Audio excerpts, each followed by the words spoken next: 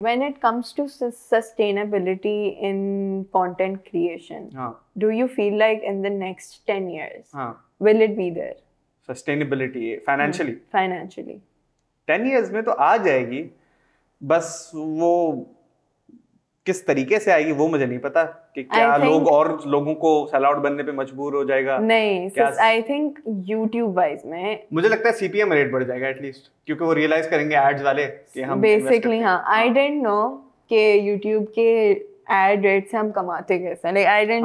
Like understand the. Analogy तो. इरफान भाई ने इसी पॉडकास्ट में मुझे समझाया अच्छा। था कि देर आर लाइक वो बिड्स लगाते हैं हाँ।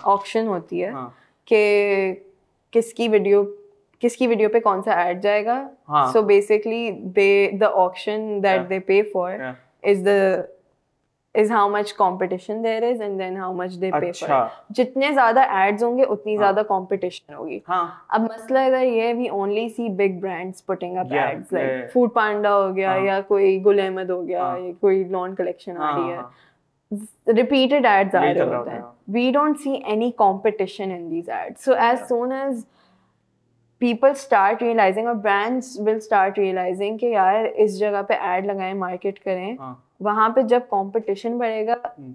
तब I feel like the CPM rate would rise because.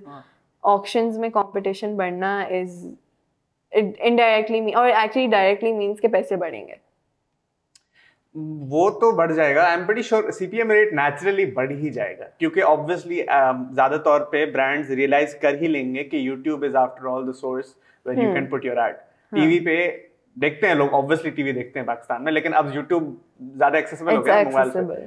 तो फाइनेंशियली तो हाँ आई एम प्रीटी श्योर कि CPM rate at least YouTube का बढ़ ही जाएगा। अब कितना बढ़ेगा ये नहीं पता। हम्म लेकिन फाइनेंशियली सही हो जाएगा।